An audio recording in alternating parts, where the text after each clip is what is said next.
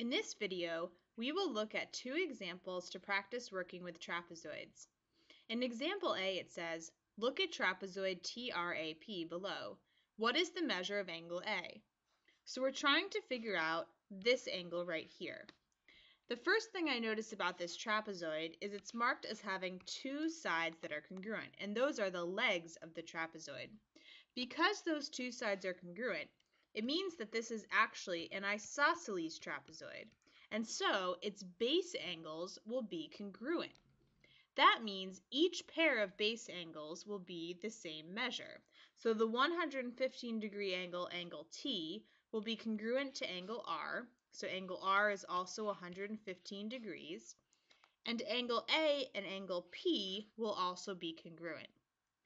Another thing I know is that the four interior angles for any quadrilateral will add up to 360 degrees. So that means these four angles must add up to 360 degrees. So if I call angle A x, then angle P will also have to be x. And I know that when I add all of these up, 115 plus 115 plus x plus x that has to equal 360 degrees. Now I can solve this equation for x in order to get my answer. So combine like terms and you get 230 plus 2x equals 360. Then minus 230 from both sides and you get 2x equals 130, which means x equals 65.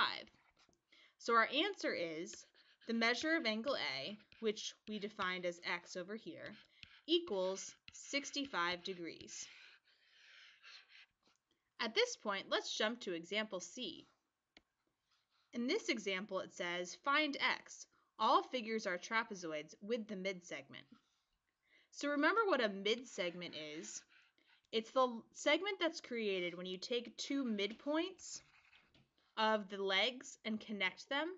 So because that's a midpoint, it means that this segment would be congruent to this and this congruent to this. Now the way it works is that the mid segment, the length of the mid segment is the average of the length of the bases.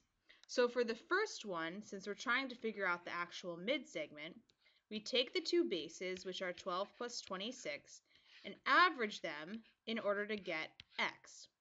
So 12 plus 26 is 38, and 38 divided by 2 is 19. So that means x equals 19.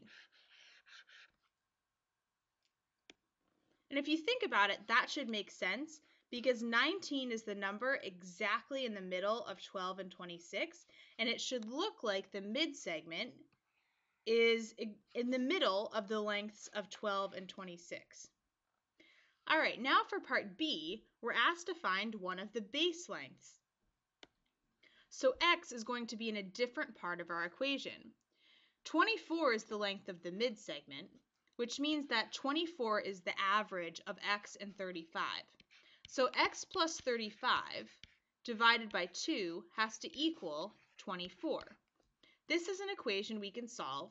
The first thing we should do is multiply each side by 2 and that cancels out the dividing by 2.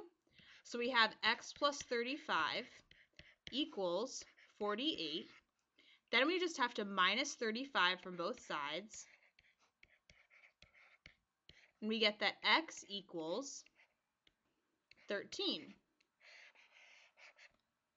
And again, that should make sense. It definitely should have been a number smaller than 24 and 35. And the difference between 24 and 35 is 11, and the difference between 13 and 24 is also 11. So it makes sense.